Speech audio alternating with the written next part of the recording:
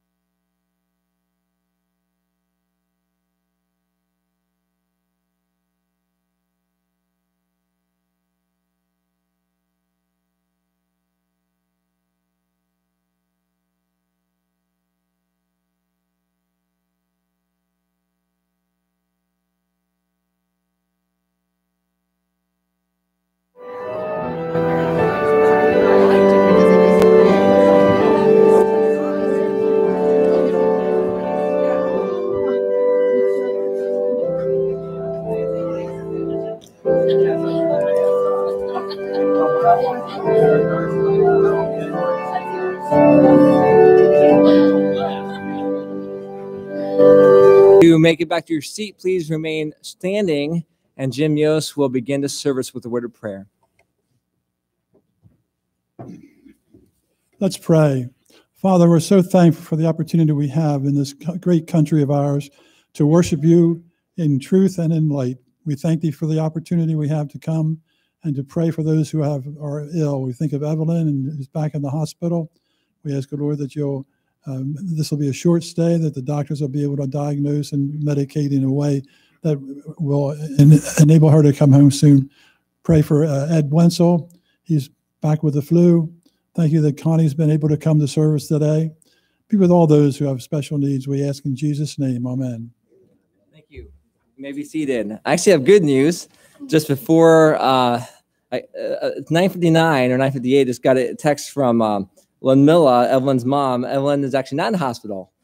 So she, her fever actually went away last night. It was, it came, it was, uh, praise the Lord for your prayers. It was off and on, off and on. So she is at home. They're not in church. I told them to, to watch us live streaming, but uh, continue to pray though, because uh, she was very sick last week. And this to us, 100.4 fever is, is something that many of us experience a lot, but for her, she can't, uh, it's serious for her was what she went through. But thank you for your prayers. Continue praying. We have another a number of people sick, number in the choir, number in the congregation, some getting the same thing a second time. So pray for each other and make sure those of us who aren't sick uh, protect ourselves from the best we can. Of course, we know God's in control of all that.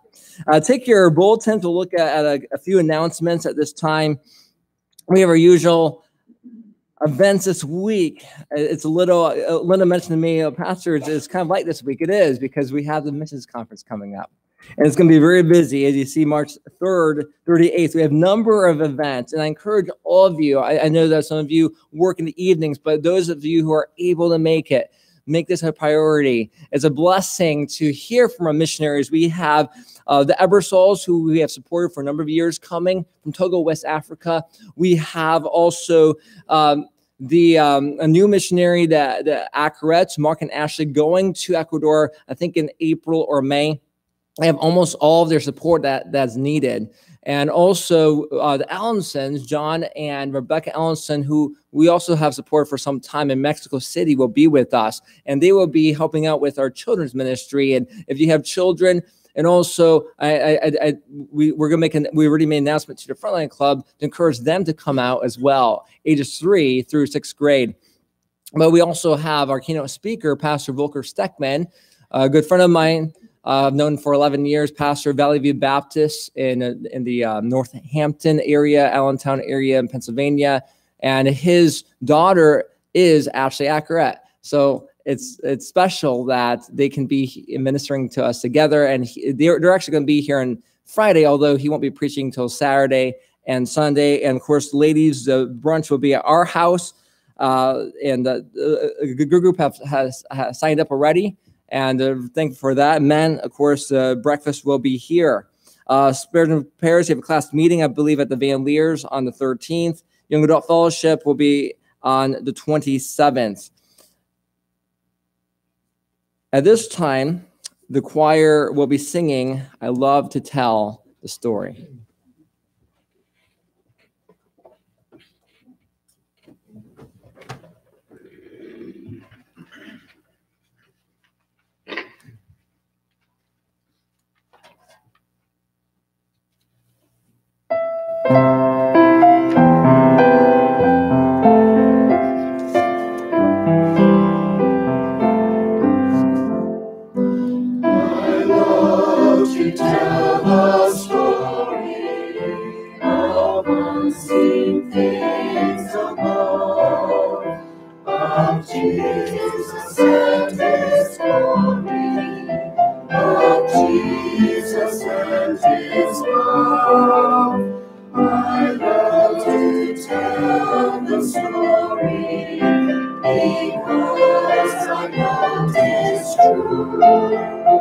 It satisfies my longings as nothing else can do.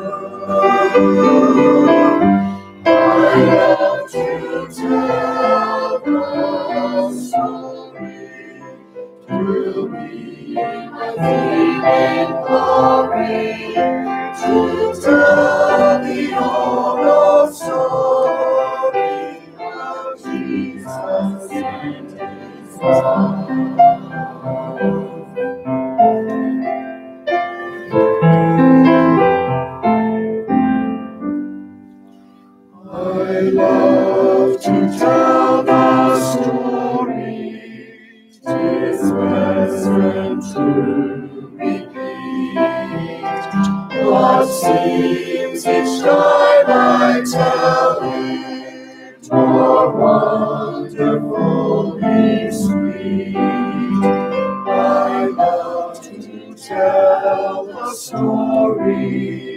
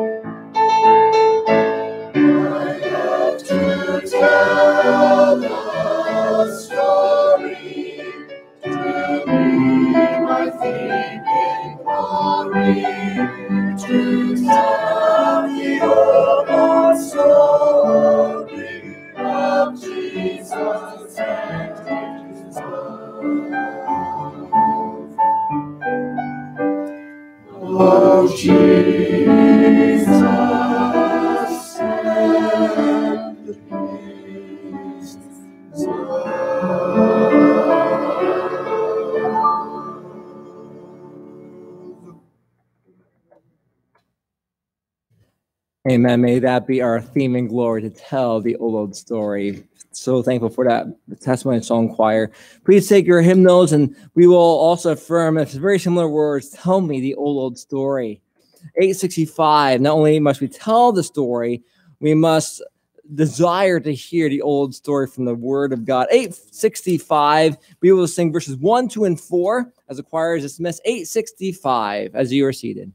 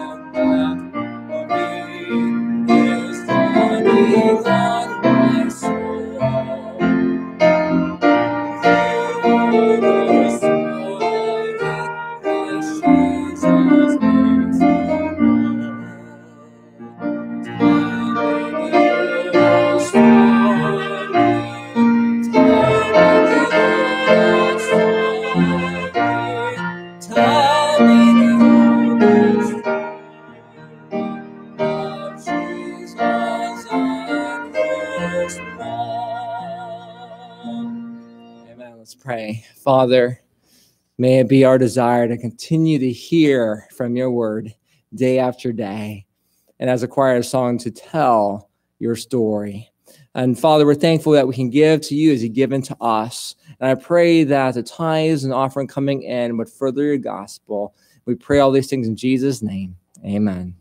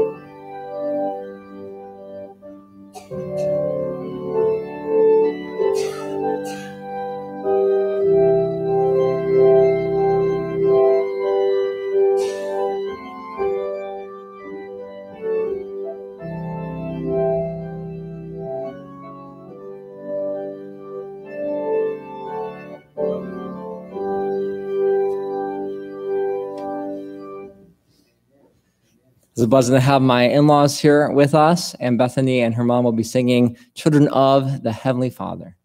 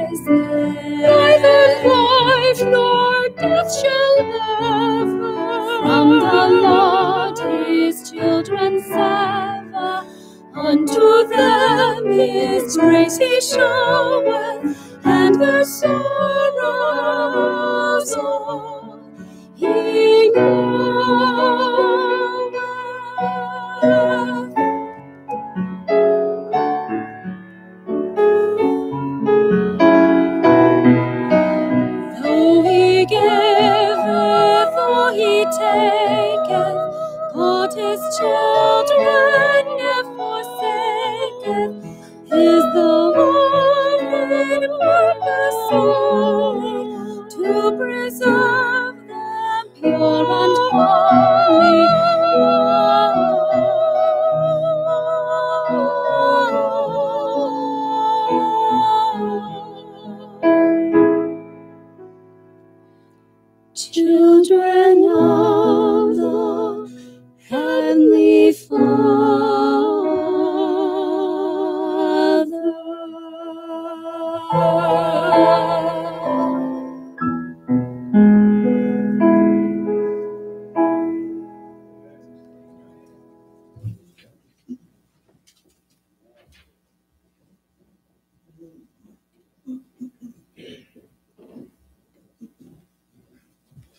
And Thank you so, so much for that testimony and psalm. Please take your hymnals and turn with me to page 372. This goes with the message that we will be hearing in a few moments. Once for all, thankful for Christ's redemption of mankind that saved us from the law of sin. 372, let's stand and we'll sing verses 1 and 3. And as we sing, junior church teachers and students, you're dismissed at this time. 372, verses 1 and 3.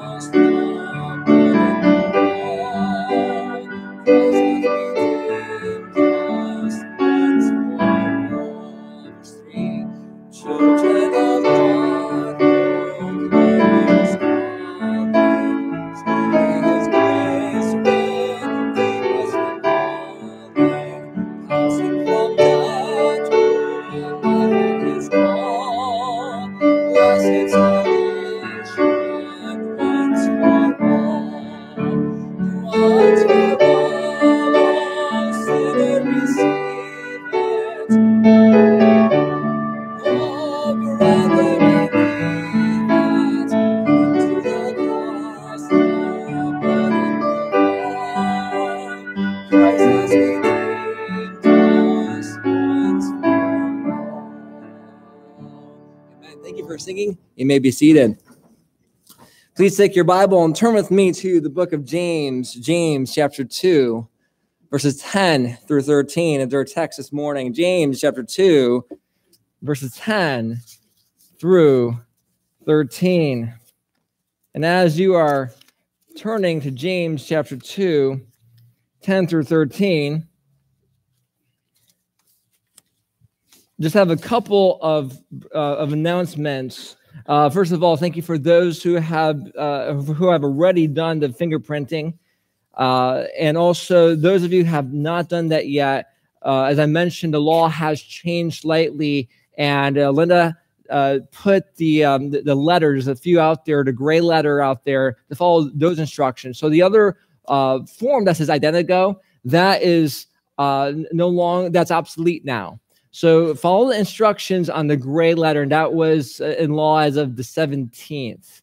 So, so those of you have that that have uh, attempted to follow that identical probably had ran into problems, and the reasons because they changed some things around. So follow the gray letter. Again, our goal is to have everything done by VBS. And speaking of VBS, uh, we are still working on the dates this summer. We're, we're getting close. And those of those of you who have been contacted either by Linda or myself, who have been asked about your preference and availability, uh, if you could get back with us this week, that'd be great. Most of you have gone back with us, and uh, just between with the the fair being the first uh, week of August, which we've always done it, and also some other churches. So the the week we did last year, there's a couple of churches that. Uh, that uh, some kids go to our VBS and, and, they have it that last week of, of, of, of July. So it's been a little bit of a challenge. And, and, and one issue that we were running into is one of the weeks, uh, there was two weeks we're considering. One of the weeks right afterwards, we had a prayer conference that I already scheduled several weeks ago, but I was able to move him. Uh, or, or, at least he's willing to be moved. So we're thankful. I'm thankful for that. So we're very close, and hopefully next week I'll let you know the exact dates. But thank you for your patience and uh, and pray about VBS this year. Pray about the opportunity of working, but also inviting your children, inviting neighbors and your grandkids and others in the community out to Vacation Bible School. Of course, this is our 11th message in a series I've entitled Real Faith in Real Life. And this particular message this morning is entitled The Law of Real Faith. When we hear uh, when we hear of the word law, we tend to have a negative connotation and uh, uh, reaction to that word. But in this case, it's it's a good thing. The law of real faith. James chapter 2, 10 through 13 says this For whosoever shall keep the whole law and yet offend in one point, he is guilty of all. For he that said, Do not commit adultery, and also do not kill. Now, if thou commit no adultery, yet if thou kill, thou art become a transgressor of the law. So speak ye, and so do as they that shall be judged by the law of liberty. For he shall have judgment without mercy that hath showed no mercy, and mercy rejoiceth against judgment. The law of real faith. Let's begin with the word of prayer. Our Heavenly Father, we're thankful for your law. As we mentioned a couple weeks ago, we think of David's testimony as he cried out, Oh, how I love thy law is my meditation all the day. And I pray that each one of us, as we come into this message, as we learn more of your word, more about Jesus, I would know. And as we learn more about you, that we will delight in your law because we tend to have the perception of a negative perception of the law. We don't like to be told what to do. But as we look in your law, your perfect law of liberty. Father, may we have this desire to love your law, to learn your law, and to live your law in our lives. We pray all these things in Jesus' name. Amen. It was 1999, which was my first visit to Bob Jones University, which would become my alma mater. And I remember the first visit uh, I was I was a junior in high school, never been to campus, and my brother and I, when we visited, we had uh, the academic catalog, and our goal was to go from classes from eight to five. Now, most high schoolers, I- found later when I was a student, most high schoolers, when they visit, they spend their time in the social parlor, which is where the pool tables are at, the tennis, uh, the, the table tennis, and all those type of things, games. But my brother and I wanted to be, and at that time, we thought that as a college student, you're in class all day. We found out that wasn't the case. You do need time to study and also some time to work to pay off your school bill. We did not know that at the time. But, and, and I remember that first class we went to was an English class. And as we were, uh, going to class, uh, my brother and I thought well, there's a sidewalk, but we thought it would be much faster if, if we just cut through the grass. So we cut through the grass, and it happened. You, you know me. I, I, it seems like I know quite a bit of people. I, it happened uh, to, to, to, to see a girl that that we knew, and and she said she said Eric and Brian, uh, you're not allowed to be in the grass. And we're like, really? Wha- What's wrong with walking in the grass? Well, it's it's, it's on it's on a, a page whatever it was uh, in the Ba- handbook. Of course, being a visitor, you don't read the Bob handbook. You don't have it memorized like you do as a student. Okay, and so as soon as she told me that it was wrong, I immediately got off the grass. Well, I was on the grass of ignorance, not intentionally uh, disobeying the law. Of course, I didn't get trouble. I mean, as a high schooler, you could get away with anything. Now, as a student, years down the road, I've seen I saw students uh, who knew what they were doing and who just delighted in disobeying the law. Completely different situation. They knew the law. They weren't ignorant of the law. They knew it, but they wanted to disobey. Well, aren't we as believers? Don't we have tendency to either one of those scenarios? Well, we are ignorant of God's law because we haven't been into God's law yet, as was my case, because I wasn't in the Bob Jones handbook because I wasn't a student at that time. Uh, Or we're also sometimes identified with that student who knows better, but does it anyway because he just wants to do what he wants to do.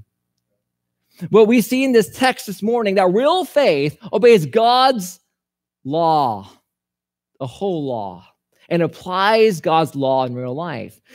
Real faith obeys, genuine faith, a genuine believer obeys God's entire law and applies God's law in real life. We see two truths here. We see, number one, the law of real faith displays truth.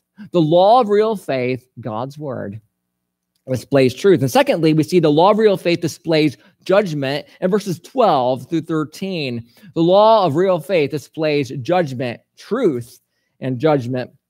Look with me at verses 10 through 11, and we see the law of real faith displays truth.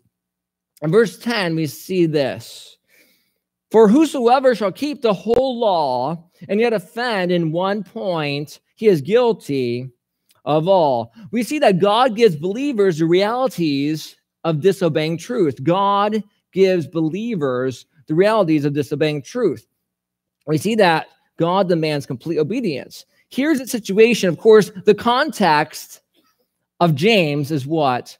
Real faith will be applied and seen in real life. In chapter one, we saw the response to trials and persecutions. The early church, during this time of Nero's reign in Rome, were going through much persecution, and they were told what? Count it all joy. To not to look to their own wisdom, but if any man lack wisdom, let him ask of God. And to have the faith to trust God even in the midst of different trials. And the temptations, the trials that God allows is for our good, right? To those that love God.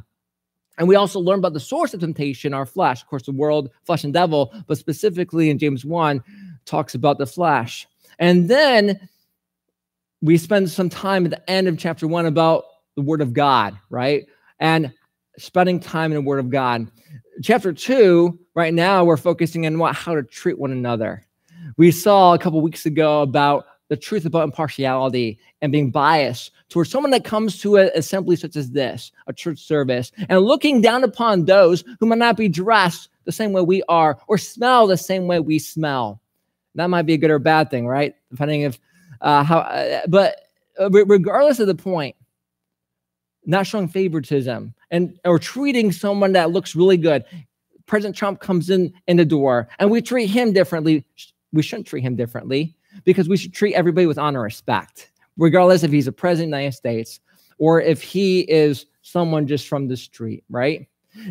And then we saw last week the love of real faith. And again, that same scenario came up again last week how to treat another person and how to be consistent in personality difference in the externals. And verses 10 through 13 wraps this up as far as recapi- if, if you are Dave's a musician, so- several musicians, you, you have musical form.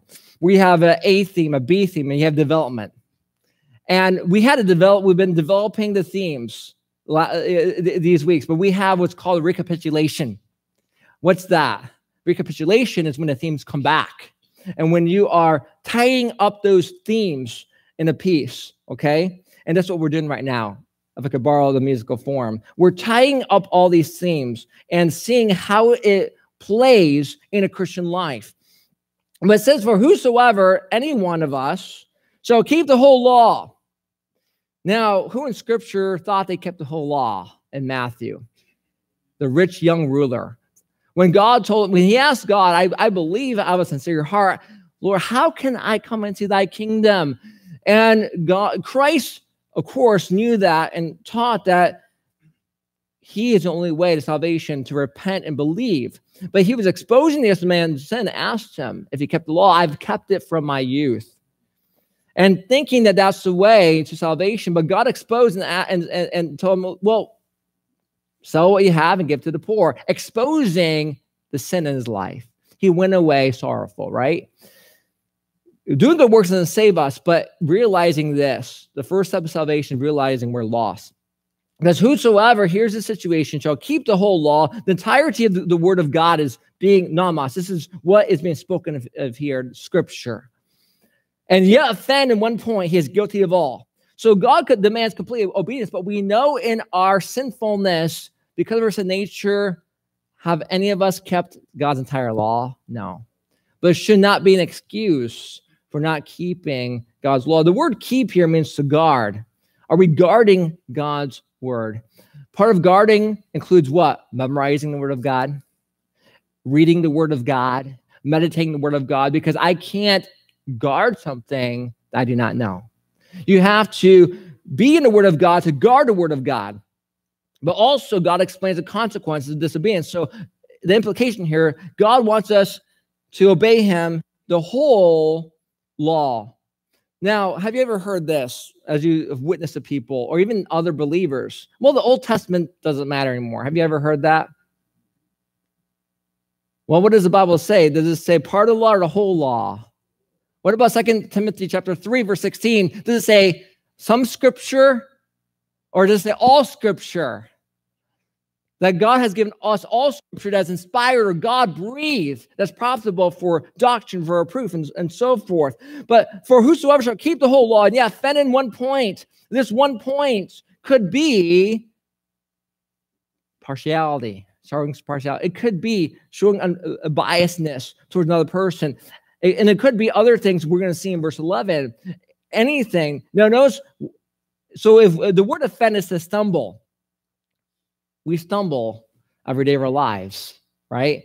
When I think of stumbling, I remember a number of years ago, I was running to my car from a men's breakfast in my church in Greenville, and they had those parking lot barriers, and I didn't see it, and I stumbled and fell. Well, sin is is like that. It's that parking lot barrier where you stumble and fall. You think everything's good, you don't see it right there, and boom, you just sin saying something you shouldn't say, having wrong attitude. And we stumble and fall, and we stumble and fall every day. And yet we stumble, and one point, he is guilty of all. So just like the rich, rich young ruler, we tend to think this well, I'm not watching pornography. Well, I haven't killed anybody. I'm faithful to my wife. I haven't committed adultery. I haven't stolen from the Elmer Bank over there. I'm a good Christian. I have kept God's entire law.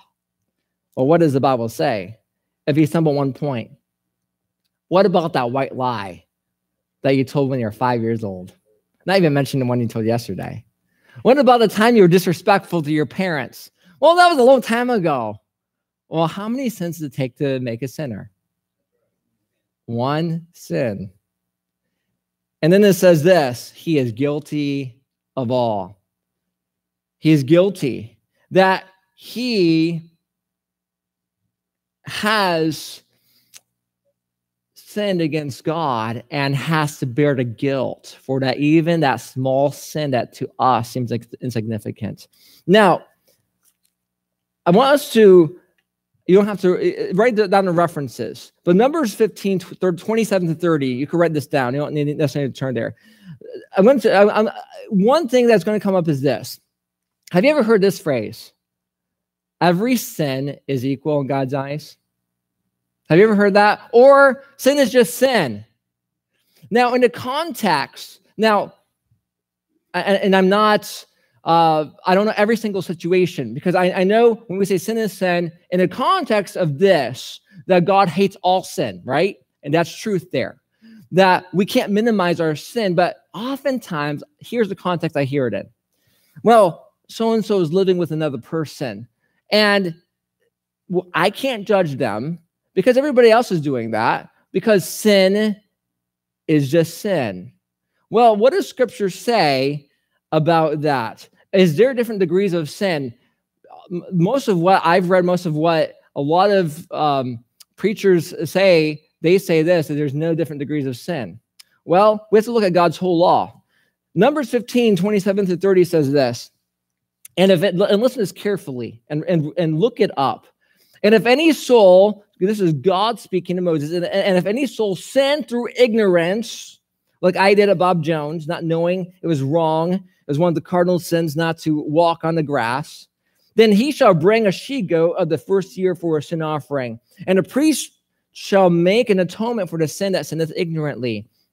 When he sinneth by ignorance before the Lord to make an atonement for him, and it shall be forgiven him. By way, God forgives, but forgiveness does not mean the absence of consequences. That's another, that's another message. Verse 29, ye shall have one law for him that sinneth through ignorance, both for him that is born among the children of Israel. Now in verse 30, but the soul that doeth aught presumptuously, the presumptuous means he knows better and he's doing intentionally. He knows that this is wrong against God. Whether he be born in the land or a stranger, the same reproach the Lord, and that soul shall be cut off. The word cut off there means that God will kill him from among his people.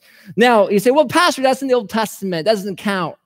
Well, I'm glad you, you asked, you thought that. Because Luke 12, in the New Testament, Christ himself says this in a parable, parable of the Lord and the servants, verses 46 through 48, Luke 12. We could jot this down.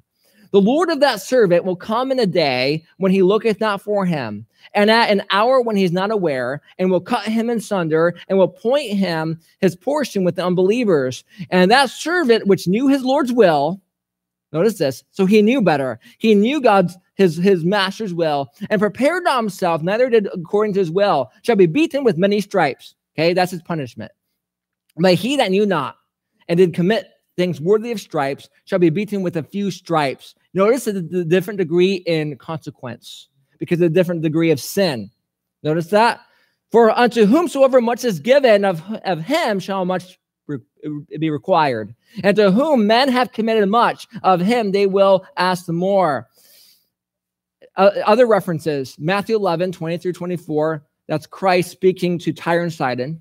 Another reference is Exodus 22. The whole list in Exodus 22 is God speaking to Moses and giving Moses to Israel instructions of the different types of offerings for different types of sin. What's that showing? There is different degrees of sin because there's different consequences of sin. Here's, I think this will help you even better. I'll, I'll, I'll use me as a real life illustration.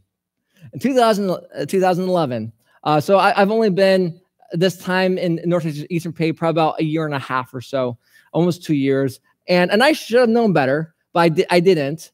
I was depending upon my GPS for the speed limit instead of the sign. Have you ever done that? Well, I was doing that at, at this time in, in, this place called Waymart. It was, it's, it's just outside of Honesdale, Pennsylvania. And so uh, my GPS said 45.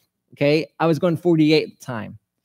And the, the sign said 35, but I didn't there was a sign like in, in town, but there's a law of town. I didn't. I, I I I thought, okay, my GPS is right. Well, I was driving. Um, uh, Beth, uh, Bethany was shopping. I was gonna pick her up, and all of a sudden, I saw bright lights behind me. I've never been pulled over before, before this time. I was like, what did I do wrong? I mean, I'm just going 48. I mean, wh- wh- what's the so so I pull over and uh, I gave him all my information. And he said, "Sir, you, you know you're going 13 miles over the limit." I said, uh, I, I "I'm so sorry. I, I my GPS said it was 45. I show it to him, and and, and he said, he said, well, you, you need to follow the follow the speed limit. But let me tell you, he did not give me. Uh, he gave me something a lot lower than this, uh, less than a speed limit, and and and the cost was not much money. There's no points of um, uh, against me. Why? Because I was ignorant. I proved to him I was ignorant. Okay. Uh, I still had to pay. I still had to pay a fine. But let me tell you now, if he were to come and okay, he, the police officer came and I told him, "Sir, I, I'm I'm sorry, you know," and, and, I didn't know, and, and he said, "Okay, I'm going to arrest you and I'm going to take you in for 15 years." And so I, I only went 13 miles over. Why would I be arrested and put in state prison 15 years? Because your crime is just as much is just as is, is just as bad as the guy who robbed the bank or just as the guy who who killed a person you see our penal system understands that there's different degrees of sin but we as christians don't because many of us don't because we often use it as an excuse for sin so we see God gives believers the realities of disobeying truth, but also God gives believers specific commands to obey. Verse 11, we have specific commands. Verse 11, for he that said, do not commit adultery, of course, we have that in 10 commandments, right? And also, here's another one, do not kill. Now, if thou commit no adultery, yet if thou kill, thou art become a transgressor of the law. The word transgressor, law literally means a law breaker. So we see God commands believers not to commit adultery.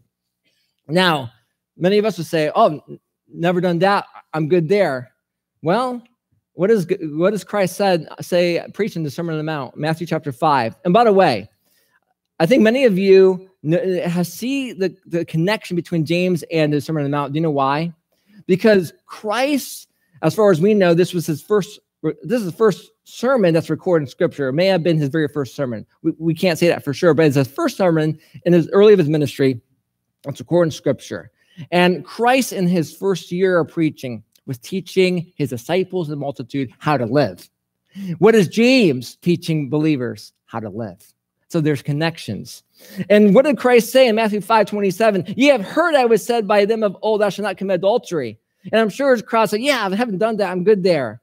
But I said unto you that whosoever looketh upon a woman to lust, after she after her hath committed adultery with her already in his heart. So, men, how are you doing with your thinking and looking? It's not just going through the the actual action, but what about our mind, what we what we're looking at, and then we we look at the next command here. So think about that. That's what Scripture says that we've already committed adultery in our heart when we look upon her with lust. Here's the second command: do not kill. And all of you would say here, because you're here right now and I'm in prison, uh, all of you would say, "I not haven't done that. I'm good there. Well, what does the Bible say? With the look at all Scripture, First John three fifteen says this: Whosoever hateth his brother is a murderer. How many of us have said, "I hate someone"? I've done it. We've all done it. What does the Bible say? Is a murderer. And ye know that no murderer hath eternal life abiding in him. We tend to look at our sin with rose colored glasses or sugarcoat something. Christ is telling us at what it really is that hating someone is like wishing that they weren't even alive. That's the same as murder in God's eyes. That's breaking God's command. Here's so God commands believers not to commit adultery, not to kill, at the end of verse 11, we see God concludes reality of disobeying either commandment. Here's God's conclusion of the reality of disobeying both commandments.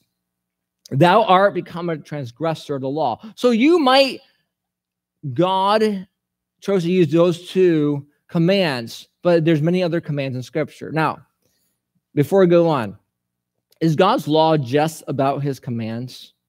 No. When we think of law, we think, oh, the law my parents or grandparents have for me, or the government law. And there's lots of laws, laws at work, laws at school, there's laws everywhere. And we tend to have a bad attitude about laws because we don't like being told what to do. Now, what does the Bible say about God's law? The law is good. Romans 7 12 tells us, wherefore the law is holy and the commandment holy and just and good. The law, though, cannot save us.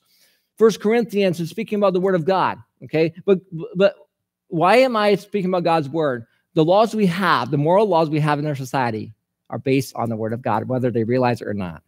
Because God is the author of what is good and what is moral, right? First Corinthians 15 56 says, The sting of death is sin, and the strength of sin is the law. And the law's purpose is to point us to Christ. Galatians 3:25. Wherefore the law was our schoolmaster to bring us unto Christ, that we might be justified by faith, because the law exposes our sin. Your mom, your dad, your authority tells you to do something in your heart, you don't want to do it. Why? Because that's our sin nature. And we see number four, God's law must be obeyed. John 14, 15 says, If you love me, keep my commandments.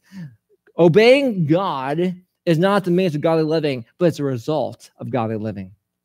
So you see here, when we speak uh, in, in, the end of verse 11 that we have become a transgressor, a lawbreaker, what's your, our attitude towards the law? And also, Proverbs 23 17 says, For as he thinketh in his heart, so is he. What are we thinking about when it comes to killing or adultery? It's understanding this. I need to have a good attitude towards the law. David's was, Oh, how I love thy law laws, my meditation all the day. Do we want to be in God's law to know God? The Bible isn't just a bunch of commands, there's commands in there. But the Bible is about knowing and loving God. And when you lo- love someone, don't you want to obey that person? Do you know when was the turning point for me of, of starting to, of course, I could not obey my parents without God's help and grace. But when I realized this, whether I agree with my dad or not, the reason why I want to obey my dad was number one, because I love God. Number two, I love my dad. And he, my dad loved me. And he had those rules because he loved me. God has rules. He commands why? Not because he hates us, because he loves us. And our response should be, Lord, I want to make sure that I have the right view of sin as you have and to know what your law says. We're going to look in a moment about that in our next point about uh, how to understand what God's word says about sin and, and, and studying the word of God. But here, just realizing that all of us are sinners, it just takes one sin. We could be doing well in the other part, but what is our view of sin? Do we have the right view of sin as God has, or we do minimize our sin? And realizing God forgives. And here's another forgiveness is another key word that we as Christians tend to use as an excuse of sin. Oh, God forgives. He forgives. Praise the Lord. But there's still consequences. And the consequences depends upon the sin that I've committed for God. Are we right with God today? Is it our desire to guard God's whole law, to look at his whole word, to read his word, to meditate? Part of it, uh, uh, the application here is are we in the word of God? How do we study the word of God? I was going to mention this a few weeks ago and I forgot.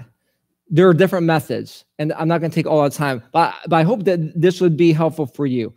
Uh, one method is just reading through from Genesis to Revelation, okay? Reading through your Bible. Uh, what I do is I read through the Bible. I'm in Second Chronicle, First Chronicles right now.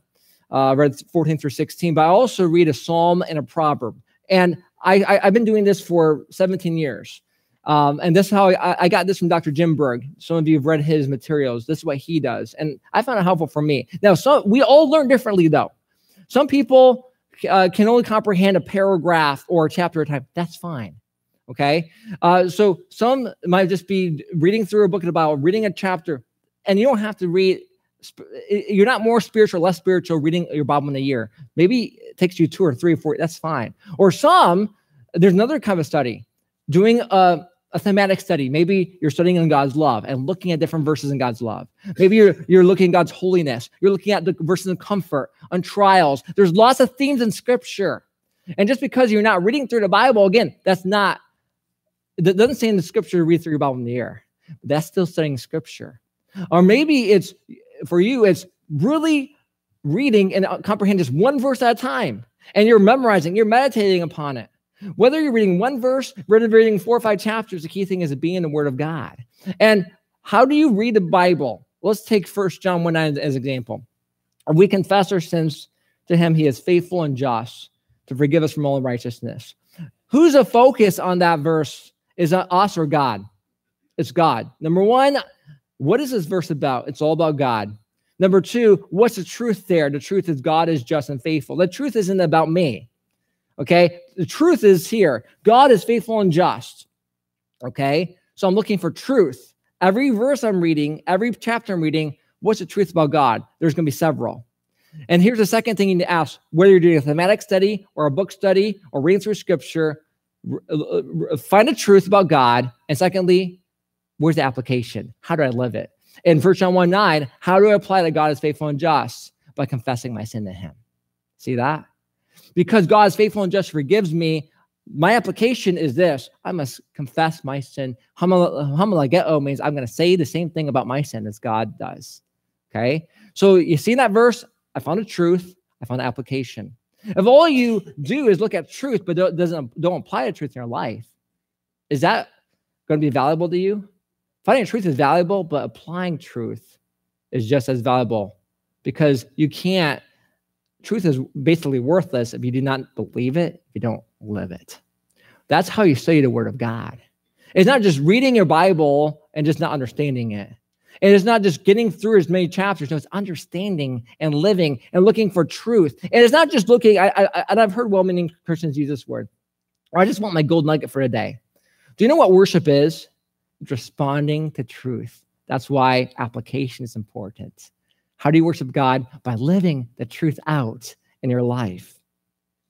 So we see the law of real faith displays truth. Lastly, the law of real faith displays judgment. Look with me in verses 12 and 13. The law of real faith displays judgment. Verse 12, we see genuine believers live according to God's law. So speak ye and so do. We'll stop right there. What does that mean?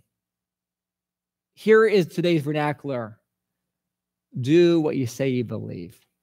If we do what we say we believe, we'll get an, an, out of a lot of trouble because the believer in that beginning illustration who says they are they're loving everybody, but yet when when Representative Andrew comes, we give him the red carpet, but we don't give the red carpet treatment to uh, Joe Schmo down the road. Bible says that we're not doing what we're saying that we believe. So we see here, genuine believers live according to God's law because genuine believers live according to what they claim to believe. So you, you say that you love God, prove it. You say you love other people, prove it. You say that you're not murdering another person, prove it. Live it. Because our walk talks and our talk talks, but our walk talks louder than our talk talks. Actions speak louder than words. We can say we're a Christian, but is your lifestyle proving and showing you're a Christian? So genuine believers live according to what they claim to believe. Now, and, and we see this going on in this passage. Genuine believers live in a reality of God's pending judgment. Look at the next phrase here. So speak ye and so do as they that shall be judged by the law of liberty. We see this. Genuine believers live in the reality of God's judge pending judgment. Now, some of us might say this I, am a Christian. God's not going to judge me for my sin because it's under grace. I've heard that before. I've heard that. Well, what does the Bible say? Second Corinthians 5:10, for we must all. There's no exception. I'm a pastor. I'm going to have to appear before the judgment seat of Christ. Now, there's different uh, types of judgments for the believer and unbeliever, but we still have to give an account before God that everyone may receive the things done in his body according to that he hath done, whether it be good. Oh, we like that part. We don't like this part or bad. Now, this starts here. Where does uh, the right judgment start? It starts within us. But look with me uh, in verse 12 here. In verse 12, so speaking and so do that they shall be judged by the what? Who's doing the judging in verse 12? The law of liberty. What's, what's the law of liberty? The Bible. Because Here's a problem. 1 Corinthians 11, 31 to 32 says this For if we would judge ourselves, we should not be judged. But when we are judged, we are chastened of the Lord or punished of the Lord, that we should not be condemned with the world. Because that's why David cried this, this prayer in Psalm 139 Search me, O God, and know my heart, and try me. The word try means to judge because we know this, according to this verse. If we were asked to test ourselves, judge ourselves, aren't we easy on ourselves?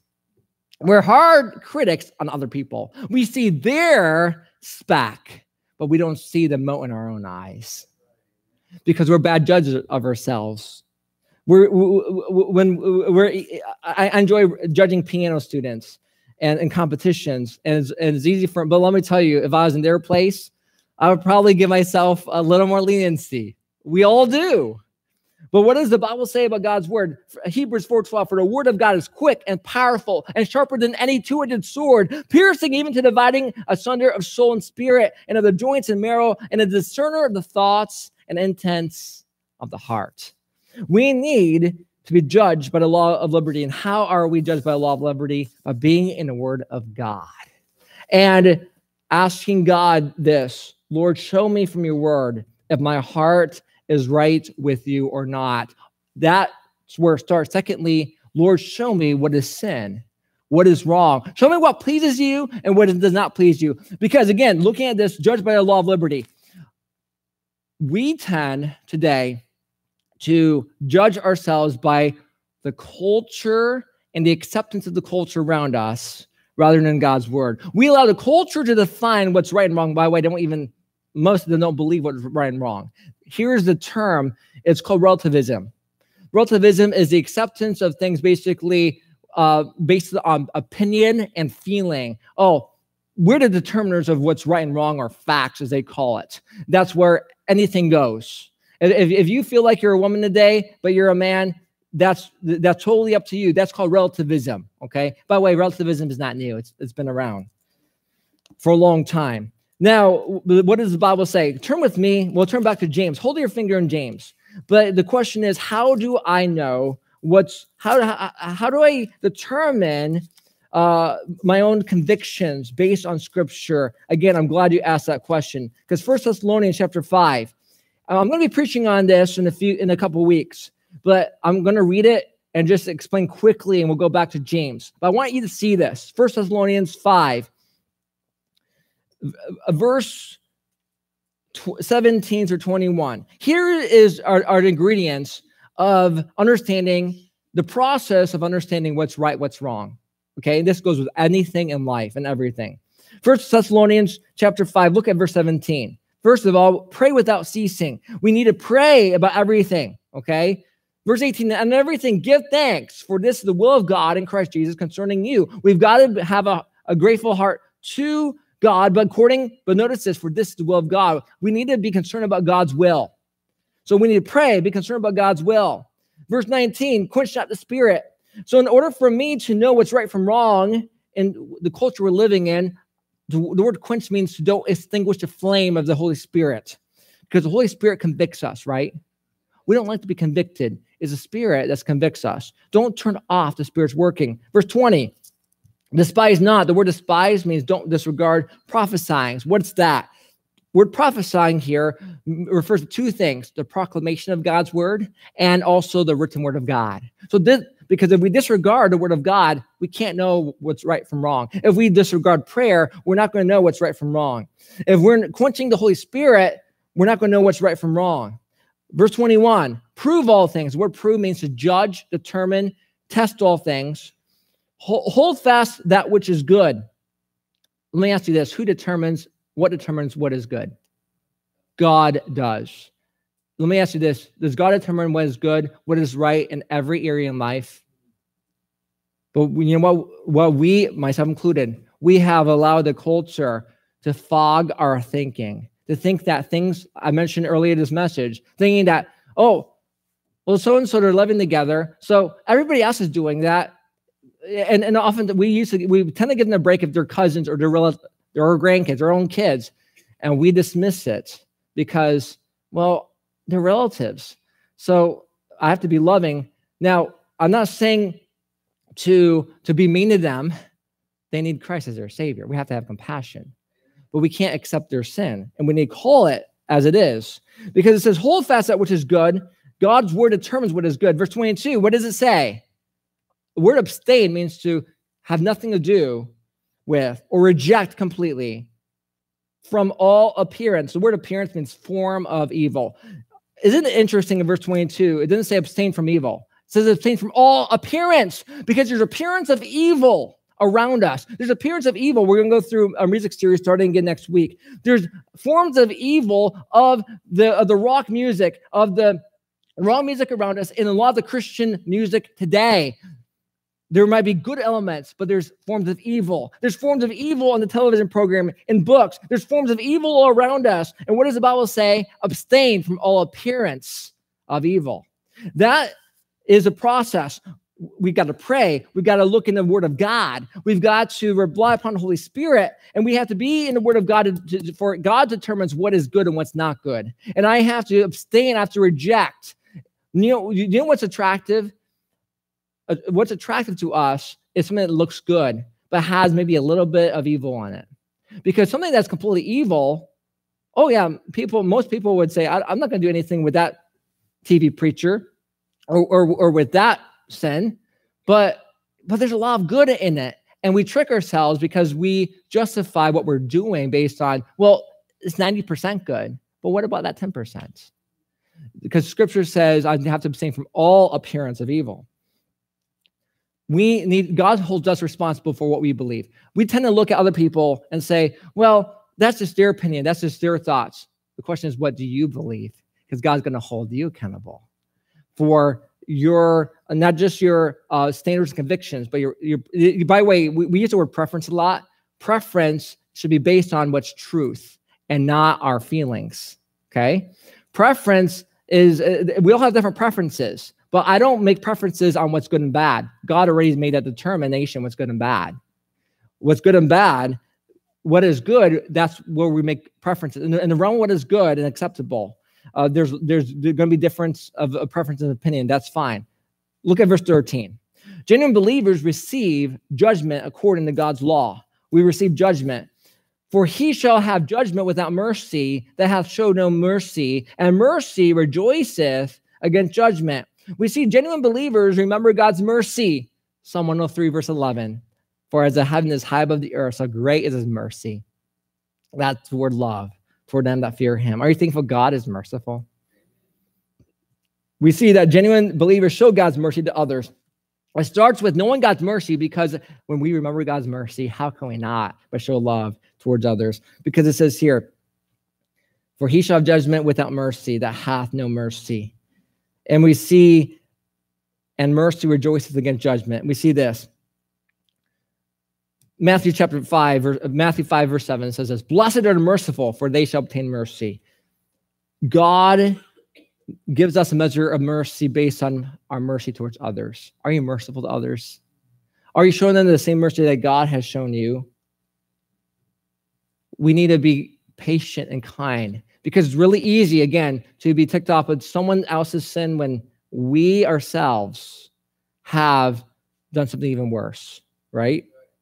Now, end of verse 13, and mercy rejoices against judgment. Genuine believers receive judgment according to the mercy that they have shown others. But notice this, as I just mentioned, the word rejoice means to boast.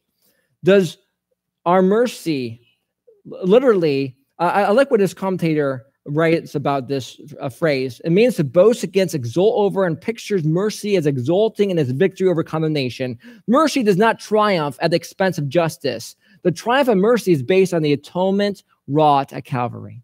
Because what Christ has done at Calvary, mercy is available. God is God of mercy, and a true believer is going to show mercy. Are you, do you know what you believe this morning? Do you know what the Bible says? Do you have your own personal conviction when it comes to moral issues? Music is a moral issue.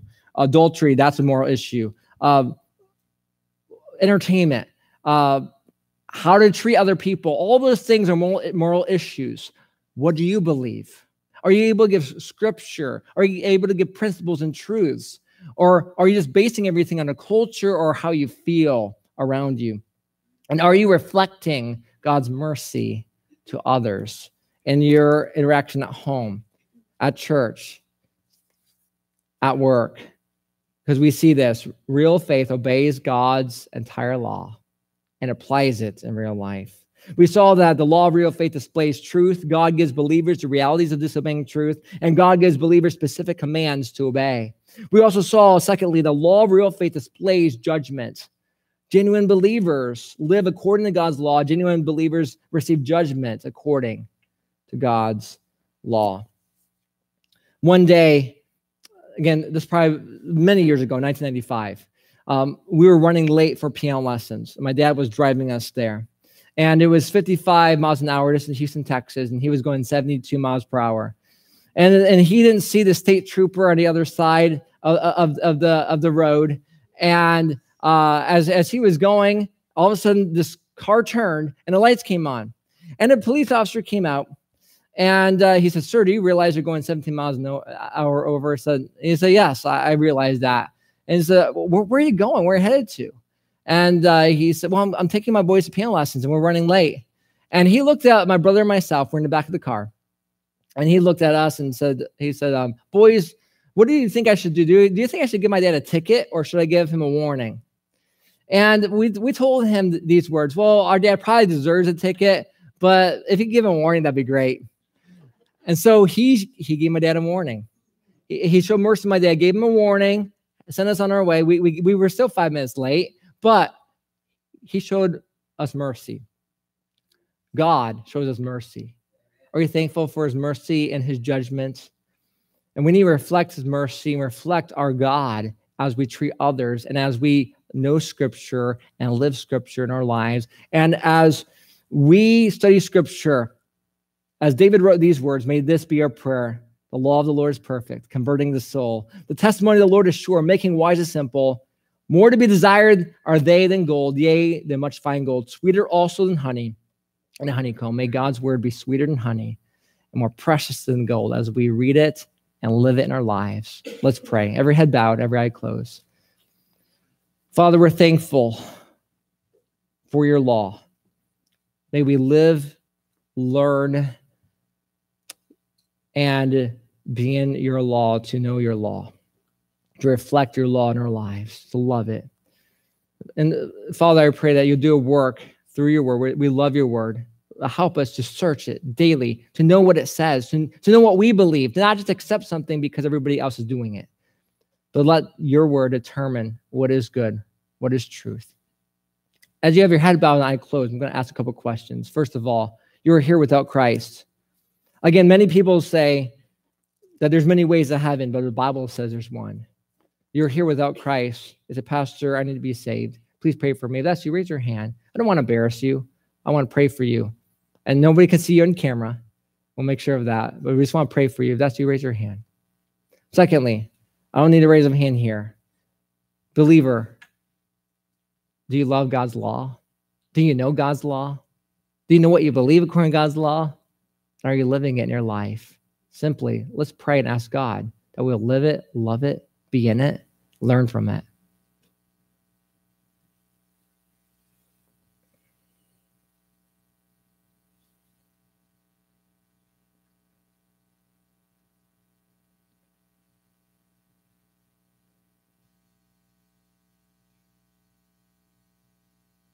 Our Heavenly Father, may we love your law, live your law, learn it every day of our life.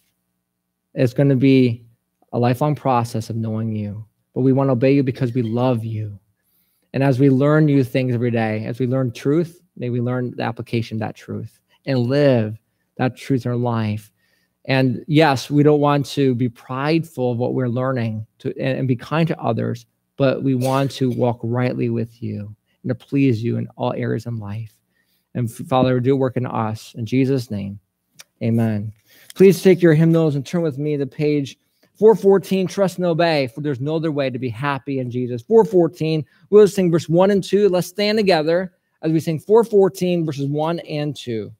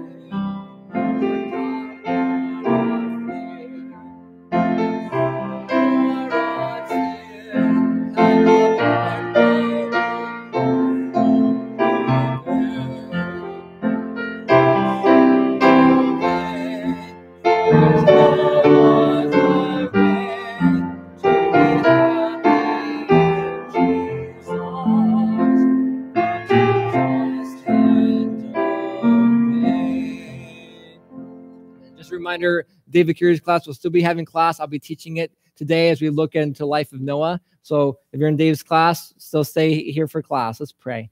Father, we're thankful for your word. May we simply trust and obey you. And I pray for your blessing upon our Sunday school time and for those going back home as well. Protect us to learn to live and to love your word. In Jesus' name, amen.